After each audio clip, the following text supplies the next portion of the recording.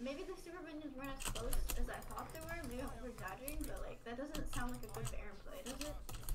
I mean, all five of them were dead, so I guess like we could have theoretically done it, but we also could have pushed out all the lanes. I think that would have been easier. Uh oh. Stupid. I Oh. got stunned.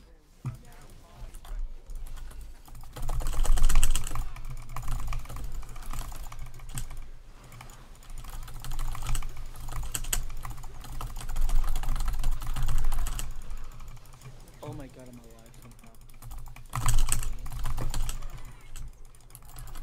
I'm Rip the sure- penta. What was that? Rip my penta. Oh, penta. Oh.